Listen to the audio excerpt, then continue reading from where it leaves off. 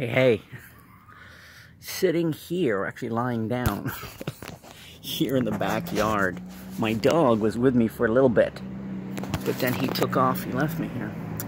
I just finished a bike ride. There are about a thousand things I'm supposed to get to. Oh.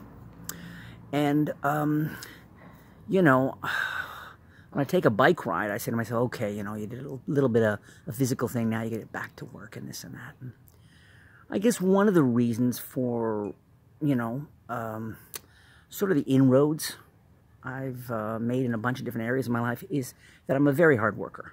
And I don't say that, uh, hopefully, you know me well enough by now. I don't have any ego and vanity around it. Uh, I know that's something I learned as a child uh, on a farm. my parents were great examples, and I was lucky to live on the farm, lucky to have those parents, and I feel lucky that it was instilled in me, right? I don't take credit for it. I'm just lucky to have it. Having said all that, here I am lying in the backyard on, a, on our little, I don't know, couch thing. And the number of times, uh, we've probably had this for a few years, the number of times I've laid down on it like this, this is probably the third time. And so you can maybe appreciate why I'm sharing this with you is, I'm maybe not excited, but uh, it's interesting when we decide to give ourselves permission. Particularly permission to take a break, be nice to ourselves, take a moment, take two, take three, oh my God, take three for ourselves, and do nothing. Now, maybe you're not like me at all. Maybe um, you do that a lot. And if you do, hey, more power to you. That's awesome. Me, I don't do much at all.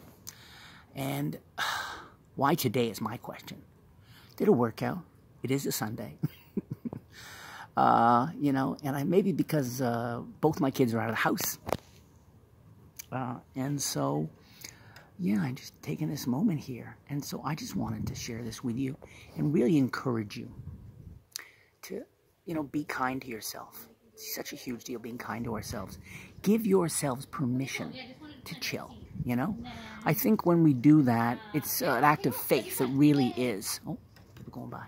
It's real act of faith that you are safe to relax. We get so caught up and we tell ourselves that there's things we need to get to. And not only do we need to get them to get to them in this life, and not only do we need to get to them this week, or even today, but now, now. And I think it's mostly, unless you're taking care of very, very little kids and they're playing near the stove, I think it's mostly bullshit. Uh, and I think it reflects insecurities and self-judgment, and we're not very kind to ourselves. So I dare you, I dare you, and I dare myself again to do this again soon. I dare you to, in the next 10 minutes, say, whatever you're doing right now, if you can possibly, and I bet you can, wrap it up or take a break, and then give yourself, I'm going to say five minutes to do nothing. And I'm going to put one little proviso on it just for mental health. Ironically, because you're watching this probably on some kind of media, uh, is I'm going to suggest you do it without any media, okay? Just sit there and be, oh no, bored. Uh, look out the window, think your thoughts.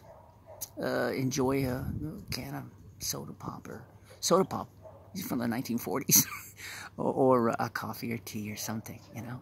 Just do nothing, just for a few minutes. think you're going to find, like I'm going to find right now, is by stopping and giving ourselves permission to do nothing, uh, nothing bad happens.